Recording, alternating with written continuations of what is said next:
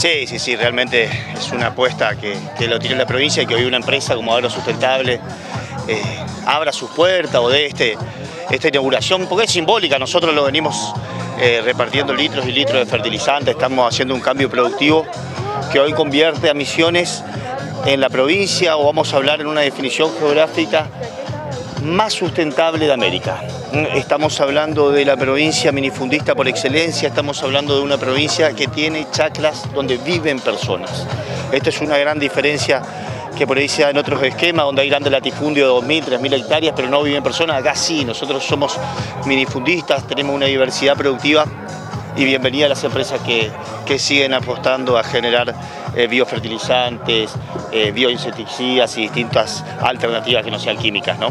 Cuéntenos un poquito de qué se trata este agrosustentable. Bueno, vamos, vamos a escucharle bien a, los, dueños de las empresas y demás, pero es una empresa que, que viene apostando fuerte en la provincia. Mm, hoy está tres galpones que tenemos atrás de fondo para un hecho, una realidad que viene cambiando desde el año pasado, venimos repartiendo, esto lo hace el Estado, el presidente, con fondo de todos los misioneros, buscando modificar estas conductas que vienen arraigadas hace mucho tiempo en la chacra, que es el uso de veneno, o este verbo que se dice randanear, algunos le dicen que es todo el uso de Randap, muchas de esas prácticas están empezando a cambiar y hoy van a haber novedades fuertes que la voy a dejar. ¿Son experiencias que han tenido la oportunidad de poder probarlo?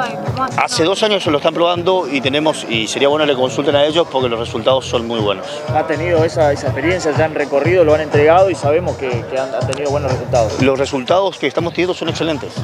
Ellos mismos lo piden, ellos lo solicitan. No es una cuestión de que uno eh, por estar acá tiene que hablar bien de una marca, sino ellos son la mejor publicidad que tiene esta empresa, porque ellos lo piden. Esto marca un antes y un después, ¿no? Para la chacra misionera. Esto marca un antes y un después. Venimos logrando una, una diversidad productiva que es impresionante en Misiones y venimos generando un cambio cultural que no se anima a darse en todo el mundo. Misiones de vanguardia, gracias. Y fundamentalmente eso, maestro, es un cambio que el mundo está solicitando. Hay un todos. Eh, hay, cambios que son estructurales que se van dando de generación en generación. Eh, uno cuando ve la película de los años 80 veía mucha gente fumar en lugares cerrados.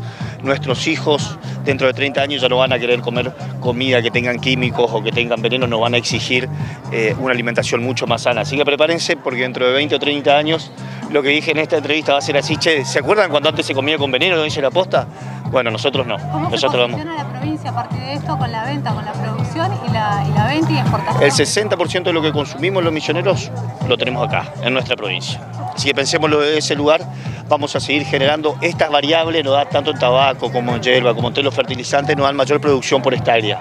Por lo tanto, esto es un valor agregado que no solamente es la comida más sana, sino que también aumenta la producción en cada una de las actividades. Y aclarar también que a los productores no solamente se les brindan estos productos, sino que también se les capacitan para que puedan seguir implementando. Sí, sí, sí, sí. todos los productores, los distintos productores eh, están capacitados para esto. Ahora tenemos una entrega en San Vicente el viernes de más de 60.000 litros a los productores tabacaleros y son ellos los que piden eh, tener la mejor capacitación. ¿Cuántos productores ya tenés Ay, no la tengo ahora el dato. A no tengo de eso se podría llegar a hacer una certificación, podría estar pensando en la provincia como para que... Ese es nuestro objetivo. Nuestro objetivo es que vengan a ver nuestro modelo. Mm, nosotros siempre decimos, acá Misiones tiene una idea, una forma de pensar y una idea estructural a futuro. Por eso son políticas de Estado de Misiones y bueno, bienvenidos que vengan las empresas a certificarnos, estamos abiertas las puertas para que CISA